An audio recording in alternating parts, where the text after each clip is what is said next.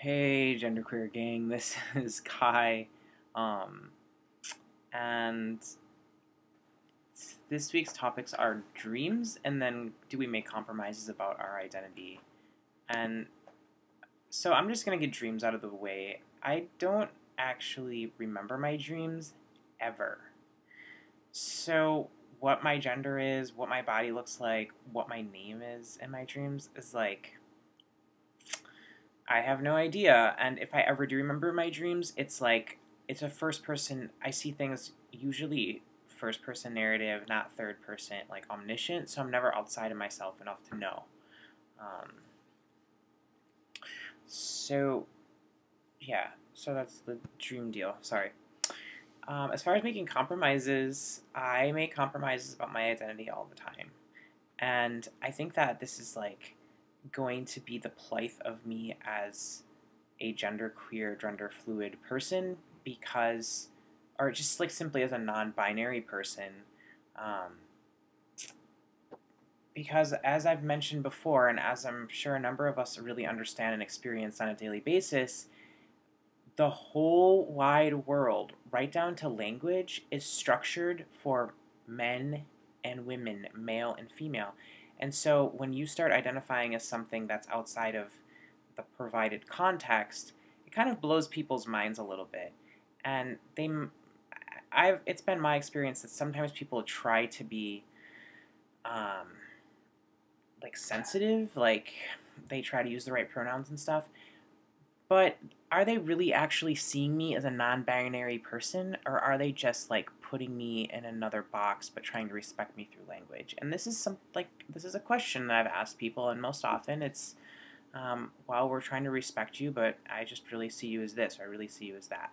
So even there's even like an unspoken compromise that's happening. I understand that you don't see me exactly as I am, which is cool as long as you like respect me verbally and like on the surface. Um, and that's like an unspoken compromise that I make with most people who are close in my life. And I understand it is that way. Um, and it's really powerful when I get around a group of people who see me. Like, that is the greatest gift. Um, and that happens like I go to support meeting here in Milwaukee and it's all trans people, and I feel seen. Um, and just like with certain friends who understand that there's more than a binary, I really feel seen.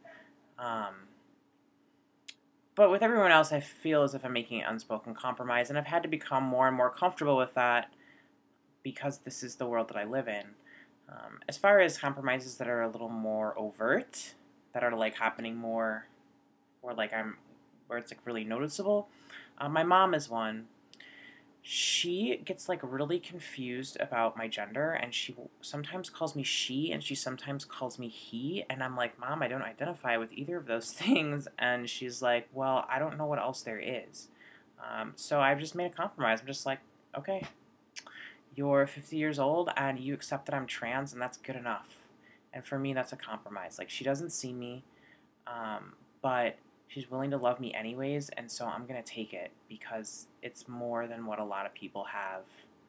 Um, and some people might like beat down the door about that, but for me, it's like about accepting other people for where they're at as well.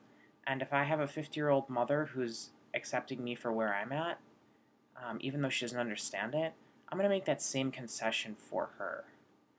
Um, and especially if it's important for me to maintain certain relationships. Um, for me, there's a difference between insensitivity and ignorance and disrespect and compromise, right? So compromise I can deal with, but any of those um, three that I just mentioned, I, I will not deal with because they're dangerous to me emotionally and mentally. Um,